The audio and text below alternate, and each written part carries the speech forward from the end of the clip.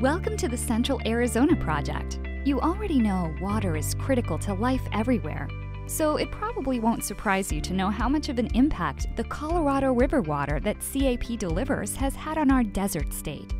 I'm going to help you learn a little more about our history, our amazing system that transports the water, the people who make it all work, and show you why it's improving the quality of our daily lives, how critical it is to our economy, and our state's future. To understand more about how CAP functions today, it's important you have a sense of our history first. Let's turn back the calendar to the 1900s, when the Phoenix and Tucson areas were much smaller and relied heavily on groundwater. Leaders understood Arizona's future would be brighter if they could increase the amount of surface water flowing to the central and southern parts of the state. They knew the Colorado River could provide millions of acre feet of water to the region each year. One acre foot of water is enough to supply three average Arizona families for one full year. The seven states in the Colorado River Basin and Mexico all wanted a share of that water, so they had to agree on how to divide it. The 1922 Colorado River Compact divided the states into upper and lower basins and allocated 7.5 million acre feet of water per year to each basin. The upper basin consists of Colorado, New Mexico, Utah, and Wyoming. Arizona, California, and Nevada make up the lower basin and each have set legal entitlements. In 1944, the Mexican Water Treaty guaranteed 1.5 million acre feet of water each year for Mexico. With the water rights settled, Arizona leaders proposed a system to transport that water all the way from the Arizona California border over here to the center of the state, where surface water was scarce and the population was growing. And in 1968, President Lyndon B. Johnson signed the Colorado River Basin Project Act, authorizing construction of the Central Arizona Project System. What I just showed you is a really brief look at some of the important takeaways. It took several decades, many agreements, and even lawsuits to sort out all of the details. But we've got to get this tour moving, so let's press on. Next, we're going to dive into the CAP aqueduct. Well, not literally, but first, here's a little pop quiz to see how much you already learned how many acre feet of Colorado River water are allocated to Arizona each year? If you answered 2.8 million, congratulations! You're ready to move on and find out more about CAP's amazing infrastructure. This 336 mile system provides both delivery and storage of Colorado River water. Construction began at Lake Havasu by the Federal Bureau of Reclamation in 1973. It was a massive undertaking that was completed 20 years later, south of Tucson, at a cost of more than $4 billion. Yep, $4 billion. You might have seen portions of the CAP Canal crossing through your community, but that's only a small part of what is truly an engineering marvel. It includes the Lake Pleasant Storage Reservoir, 14 pumping plants that lift water uphill nearly 3,000 vertical feet over the course of the system, one hydroelectric pump generating plant, 39 radial gate structures to control water flow, and more than 50 turnouts to deliver water to central and southern Arizona.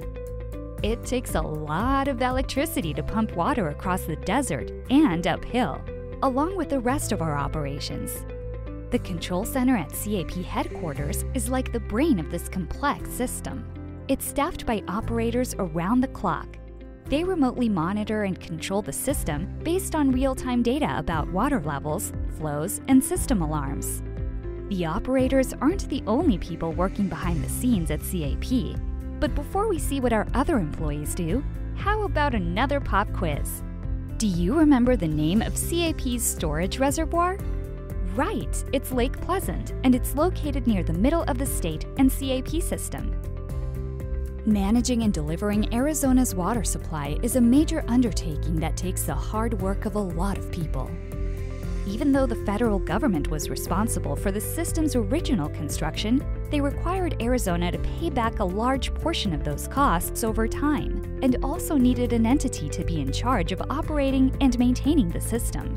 So in 1971, the Arizona State Legislature authorized the creation of the Central Arizona Water Conservation District, or CAWCD, though we typically call this entity CAP.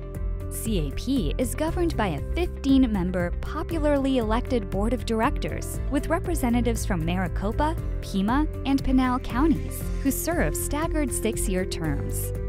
The board and its committees assemble twice per month. Meetings are open to the public and live streamed on our website. The board is tasked with setting the direction of CAP, including things like determining the price of water annually based on projections of energy, operation, maintenance, and replacement costs. Besides providing water to our customers, CAP is also responsible for repaying the federal government for certain costs of construction. We are a public entity and we don't make a profit. So even though water is a precious resource in the desert, we have a responsibility to provide it at the actual cost of delivery. Nearly 500 professionals are in charge of protecting Arizona's rights to Colorado River water, administering lands associated with CAP, public outreach like this tour, and of course, carrying out the daily system operations and maintenance needed for delivering water. Yep, roughly 500 people are responsible for making sure that water is delivered to millions of Arizonans. That's pretty efficient. That means maintaining structures, confirming communication systems are sending and receiving signals, sampling water from the canal, repairing heavy equipment, and ensuring the canal is free from debris are just part of what guarantees the water keeps flowing to the users we serve. So, who uses CAP water? Well, before we talk details, let me throw another pop quiz at you. Do you remember how CAP board members are selected? That's right, residents of Maricopa, Pinal, and Pima counties elect them in a popular vote. Pretty amazing that millions of people have a voice in picking these elected officials, huh? When you hear CAP delivers water to about 60 customers, it might not seem like a lot of people, but the water is used by more than 80% of the state's population because our users fall into two categories Municipal industrial, meaning a lot of cities and towns in the areas we serve receive CAP water before treating and delivering it to their customers, like businesses and households. CAP is also the single largest provider of water to Native American tribes in the Colorado River system. Tribes can use the water in their communities or lease the rights, the impact of the water CAP delivers is massive, contributing an economic impact totaling 40% of Arizona's annual gross state product. That's resulted in a stronger economy and raised the quality of life for Arizona residents. And that pretty much gets us caught up to date. But there's one more subject that's really important. How does CAP help shape the water future of Arizona? The water we deliver each day has already transformed the state. The Central Arizona Groundwater Replenishment District is a CAP department that replenishes aquifers as part of the state's commitment to protecting groundwater. Aquifers are areas below ground, made up of sand and gravel layers that store groundwater. They are replenished through a process called recharge. This helps communities manage their water supplies in a way that is focused on a sustainable future. Delivering water for the decades ahead requires creative solutions. That's why we've been collaborating for years within our state to leave a portion of Arizona's allocation in Lake Mead.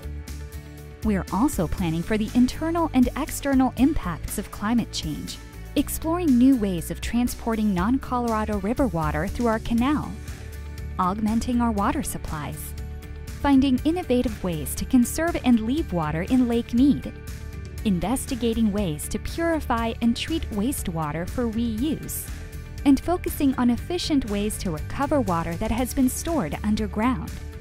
So the next time you turn the tap, and the next time, and every time after that, you can be certain that CAP is doing our part every day to reliably deliver water to you and all Arizonans in the areas we serve making it possible for families to flourish in our desert communities, for tribes along the Colorado River system to thrive, and for businesses to prosper here, which is essential to our economy.